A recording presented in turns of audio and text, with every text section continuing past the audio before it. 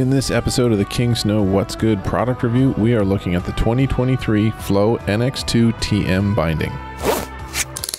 The NX2 TM is a stripped down version of Flow's best selling model that's tough, light, and super versatile.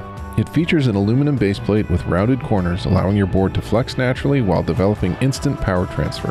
The new slip and grip plate allows your forefoot to easily slide in and out of the binding without compromising the underfoot comfort of the 2.5 degree canted Bankbeds. The ExoFrame Fusion power straps offer powerful top down foothold and set it and forget convenience. It also comes with active strap tech to keep them out of the way when the high back is reclined. Here's what our tester had to say about the 2023 Flow NX2 TM binding. Hey, I'm Jon, living in Whistler for the last 15 years and snowboarding for 15, 16 years. And I work at Showcase Snowboards. Like to snowboard, really everything, park, powder, wherever there's good snow, you'll find me.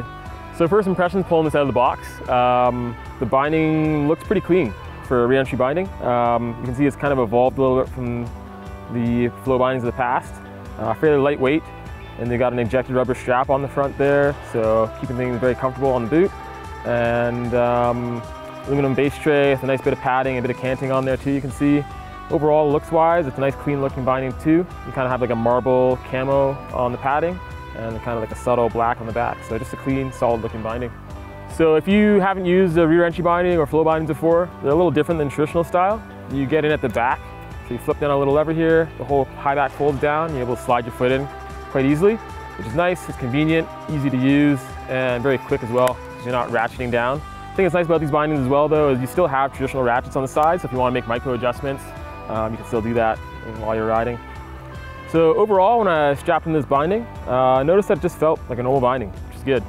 It wasn't too stiff, it wasn't too soft, it was kind of just right down the middle, kind of medium. Um, the straps on the front were very supportive. Uh, in terms of response, this binding was great. Felt like it had a nice amount of control when you're going heel to toe. It wasn't overly stiff laterally either, which you can find sometimes with bindings. So overall impression of this binding, um, found to be just a nice normal feeling binding. Not too stiff, not too soft, it's kind of medium, good all mountain binding. Overall, it just felt like a solid binding. This binding is great for anybody who's in and out of their bindings a lot. If you're doing lots of hot laps, somewhere where you're riding a small mountain, you're off the chair quite a bit, you're gonna be able to get in and out of this pretty quickly. Or if you just want something that's a great all-round binding, so riding POW, park, wherever, um, it's gonna be a nice couple of binding to ride.